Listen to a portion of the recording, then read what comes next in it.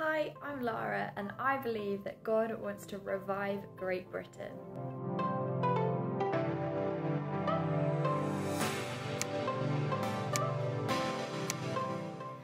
God is really building His church and growing our churches here as we come out of COVID and out of lockdown. Our churches have grown now that we're starting to be in person. So in Great Britain, God is building His church.